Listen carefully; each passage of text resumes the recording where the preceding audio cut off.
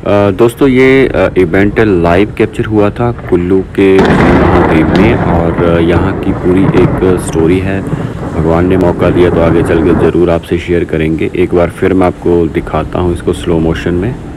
ये देखिए तो कैसे इस प्रकार से बिजली यहाँ पड़ती है हर 12 साल बाद और उसकी पूरी एक हिस्ट्री है।